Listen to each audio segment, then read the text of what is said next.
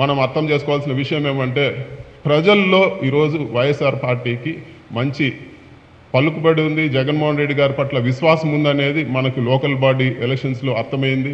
Local body elections వరకు ప్రజల్ని ఏ విధంగా ఈరోజు స్కీమ్స్ అన్నీ కూడా కానీ ప్రజలకు ఏ విధంగా అయితే మాట ఇచ్చారో జగన్మోహన్ రెడ్డి గారు ఇవన్నీ కూడా అమలు పరుస్తున్నారు. ఈరోజు ఏదో ఒక ఎంట్రీ పాయింట్ దొరకడం లేదు తెలుగుదేశం పార్టీకి. తెలుగుదేశం పార్టీ ప్రజల్లో ఏదో ఒక కన్ఫ్యూజన్ సృష్టించి మొదటి నుంచి ప్రయత్నం చేశారు. గుళ్ళు గోపురాలు కొట్టేసి ఈరోజు వైఎస్ఆర్ కాంగ్రెస్ పార్టీ కుట్ర చేస్తుందండి. నేను ఒకటి అడుగుతాను అధికారంలో ఉండే పార్టీ ప్రజలందరినీ కలుపుకొని మంచిగా ఇదే విధంగా కొనసాగించాలని ప్రయత్నం చేస్తారా? అధికారంలో ఉండే పార్టీనే ఈ విధంగా గుళ్ళు కొట్టేసి ప్రజలను దూరం చేసుకుంటే ప్రయత్నం చేస్తుందా అని చెప్పి కూడా నేను అడుగుతున్నాను ఇక్కడ మనం అర్థం చేసుకోవాల్సింది ఏమంటే మెజారిటీ హిందూస్ని మైనార్టీ క్రిస్టియన్స్ ముస్లిమ్స్కు వ్యతిరేకంగా క్రియేట్ చేసి హిందూ సపోర్ట్ తీసుకోవాలనే ఒక కుట్ర. అదేవిధంగా ఈరోజు కులాలు ప్రస్తావన. కులాల ప్రస్తావన ఈరోజు జగన్మోహన్ రెడ్డి గారు ప్రతి చిన్న విషయం నుంచి ప్రతి పెద్ద విషయం వరకు రిజర్వేషన్ లాగా పెట్టారు. ఫిఫ్టీ పర్సెంట్ ఈరోజు ఎస్సీ ఎస్టీ బీసీ మైనార్టీలకు ఇచ్చే పూర్తిగా ఒక గవర్నమెంట్ జీవో లేకపోయినా కూడా జగన్మోహన్ రెడ్డి గారు ఒక ఆయన ఒక చట్టం తీసుకొచ్చినట్లు మొత్తం అన్నిట్లో కూడా రిజర్వేషన్ ఇస్తా ఉన్నారు. ఎక్కడ కూడా ఈరోజు క్వశ్చన్ చేసే పరిస్థితి లేదు. ఇంకా అన్యాయం జరిగిందని ప్రశ్నిస్తే ఓసీలే అడగాలి ఈరోజు మాకు తగ్గిపోతా ఉన్నాయని చెప్పి అడిగే పరిస్థితి ఈరోజు మనం గమనించాల్సిన పరిస్థితి ఉంది. అంత చక్కగా ఈరోజు సామాజిక న్యాయం పాటిస్తుంటే కులాల మధ్య చిచ్చు తీసుకొచ్చి ఒక కులాన్ని తిట్టడము లేకపోతే ఇంకో కులాన్ని రెచ్చగొట్టడము మళ్ళీ వాళ్ళు ఒక దీన్ని తీసుకురావడం ఇవన్నీ కూడా ఒక కుట్ర అని చెప్పి మనం గమనించాలి. ప్రజలు ఎవరు కూడా ఇటువంటి చెత్త రాజకీయాలు చెత్త పాలిటిక్స్లో ట్రాప్లో పడద్దని చెప్పి కూడా మేము కోరుతా ఉన్నాము. ఏ కులం ఏ అన్ని కులాల సపోర్ట్తోనే ఈరోజు వైఎస్ఆర్ కాంగ్రెస్ పార్టీ అధికారంలోకి వచ్చింది. మీ అందరిని కూడా కోరేది ఒకటే ఈ దీని వెనకాల పెద్ద కుట్ర ఉంది.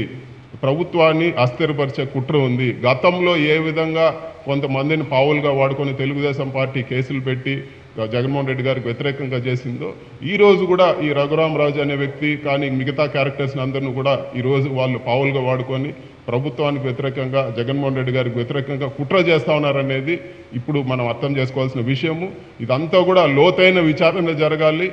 ఖచ్చితంగా ఎవరెవరు కా- ఈ కాన్స్పిరసీలో భాగమో బయటపడాలని చెప్పి కూడా మేము డిమాండ్ చేస్తున్నాం. థ్యాంక్ యూ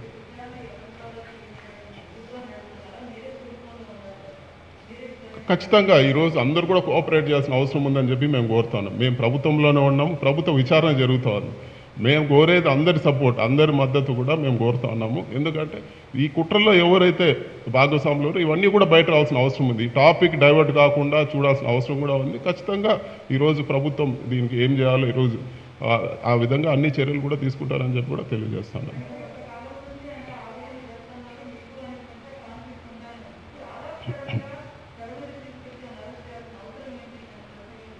మీరు చెప్పేదానికి మాకు ఆయనకు ఎటువంటి మాకు వ్యక్తిగతంగా కానీ ఇంకోటి కానీ ఎటువంటి ఇది లేదు. ఇప్పుడు వరకే నేను క్లియర్గా మీకు ఎక్స్ప్లెయిన్ చేసినాను.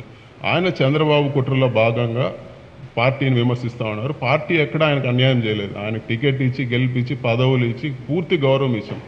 ముఖ్యమంత్రి గారు ఆయనకి ఇచ్చినంత గౌరవం మాకు కూడా ఎవరు కూడా ఇవ్వలేదు అంత పెద్ద వయసులో పెద్దోడు అని చెప్పి పూర్తిగా గౌరవం ఇచ్చారు. ఆయన వాళ్ళ ట్రాప్లో పడి వాళ్ళ కుట్రలో భాగంగా ఆయన విమర్శలు చేస్తూ ఉన్నారు. మేము ఎప్పుడు ఆయన వ్యక్తిగత విమర్శలు చేయలేదు లేదు ఎక్కడ కూడా ఎంతో సమ ఎంతో సహనంతో మేము తెలుసుకుంటాడు ఇంకా మారుతాడు మనిషి అని చెప్పి చాలా రోజులు కూడా మేము వెయిట్ చేసినాం. ఎక్కడ కూడా ఆయనలో మార్పు లేదు. ఆయన వాళ్ళు పూర్తిగా వాళ్ళ ట్రాప్లో పడడం వల్ల ఈరోజు ఈ విధంగా వ్యవహరిస్తున్నాడని చెప్పి కూడా మనం అర్థం చేసుకోవాలి.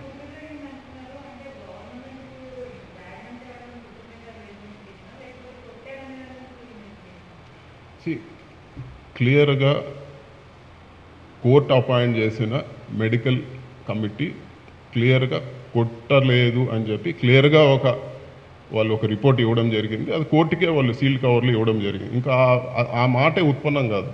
అతను కొట్టలేదు అనేది కొట్టకుండా కొట్టినారని నటిస్తూ ఉన్నారు. ఇదంతా తెలుగుదేశం పార్టీ డ్రామా అనేది మనం అర్థం చేసుకోవాలి. కుట్ర కోణం ఖచ్చితంగా ఉంది. ఈరోజు మతాల మధ్య కానీ కులాల మధ్య కానీ చిచ్చు పెట్టే ప్రయత్నం చేస్తూ ఉన్నారు. ప్రభుత్వాన్ని అస్థిరపరిచే కుట్ర చేస్తూ ఉన్నారు. ఇది పెద్ద విషయం చాలా పెద్ద విషయం ఇది. ఎందుకంటే ఒక ఈరోజు మత కలహాలు కానీ రేగాయనుకోండి లేకపోతే కులాల మధ్య చిచ్చు వస్తే నష్టపోయేది ఎవరు ప్రజలు రాష్ట్రం నష్టపోతుంది. అంతేగాని వీళ్ళు నష్టపోరు. వీళ్ళ వ్యక్తిగత స్వార్థాల కోసం వీళ్ళ రాజకీయ స్వార్థాల కోసం ఇంత పెద్ద కుట్ర చేయడం తప్పు అనేది మా వాదన.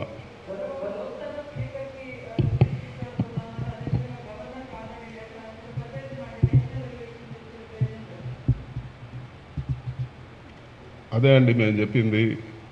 అచ్చెన్నాయుడు గారు గారు అరెస్ట్ అయినప్పుడు కానీ ఈఎస్ఐ స్కామ్లో ధూళిపాల్ నరేంద్ర గారు ఈ డైరీ స్కామ్లో అరెస్ట్ అయినప్పుడు కానీ ఎప్పుడు కానీ ఇంత పెద్ద ఇష్యూ చేయలేదు. ఇక్కడ డైరెక్ట్గా చంద్రబాబు నాయుడు ఇన్వాల్వ్మెంట్ ఉంది. ఇక్కడ డైరెక్ట్గా ఈరోజు ఇన్వెస్టిగేషన్ చేస్తే వీళ్ళ కుట్రదారులు అందరూ బయటపడతారని ఒక భయంతో ఈరోజు ఇంత రాద్ధాంతరం చేస్తున్నారు. ఎక్కడ కూడా ఇది వరకు వాళ్ళని అరెస్ట్ చేసాం వాళ్ళు ఎవరు కూడా మమ్మల్ని కొట్టారని చెప్పలేదు. ఇల్ ట్రీట్ చేశారు. పూర్తి మర్యాద పోలీసులు ఏ విధంగా మర్యాదలు వాళ్ళందరికీ అంత గౌరవంగానే చేశారు. ఎందుకంటే ఎక్కడ కూడా అన్యాయంగా వ్యవహరించలేదు ప్రభుత్వం. ఇక్కడ కుట్రదారులందరూ బయటపడతారని ఒక భయంతో ఈరోజు ఇవన్నీ కూడా వాళ్ళు ఈ కొత్త కొత్త నాటకాలకు తెరలేపారు. స్పీకర్ గురించి కూడా స్పీకర్ గారి దృష్టికి కూడా మేము కూడా తీసుకెళ్తా ఉన్నాము. స్పీకర్ గారు లేకపోతే ఎక్కడ కూడా ఒక ఎంపీని అరెస్ట్ చేయకూడదని చెప్పి ఎక్కడా లేదు. అరెస్ట్ చేస్తే కేవలం ఇన్ఫర్మేషన్ లోక్సభకు పాస్ చేయాల్సి ఉంటుంది. ఏ ఏ రీజన్ వాళ్ళు ఇట్లా ఏ కేసు పెట్టారనేది ఇన్ఫర్మేషన్ ఇవ్వాల్సి ఉంటుంది తప్పితే ఏ ఎంపీలని అరెస్ట్ చేయకూడదని ఏం లేదు. ప్రతి ఎంపీ కూడా మేమందరూ కూడా ఎంపీలే. ఎంపీలు అందరూ కూడా సాధారణ వ్యక్తులే. కేవలం పార్లమెంట్ సెషన్ జరిగేటప్పుడు మాత్రం లోక్సభ స్పీకర్ అనుమతిస్తేనే ఏదైనా లేకపోతే పార్లమెంటు సెషన్స్కి అటెండ్ అయ్యేదానికి వెళ్ళేటప్పుడు మాత్రమే లోక్సభ స్పీకర్ పర్మిషన్ తీసుకోవాలి లేకపోతే అందరు సాధారణ వ్యక్తుల మీద ఏ విధంగా కేసు పెడతారో ఆ విధంగా ఎంపీలు కాదు. ఏ ఏ నాయకుడి పైన కూడా కేసు పెట్టచ్చు. ఎంపీలు అరెస్ట్ అయిన తర్వాత లోక్సభకు ఇన్ఫామ్ చేయాల్సిన అవసరం ఉంది. అది ఖచ్చితంగా నాకు తెలిసి ప్రభుత్వం ఖచ్చితంగా ఇన్ఫామ్ చేసి ఉంటుంది.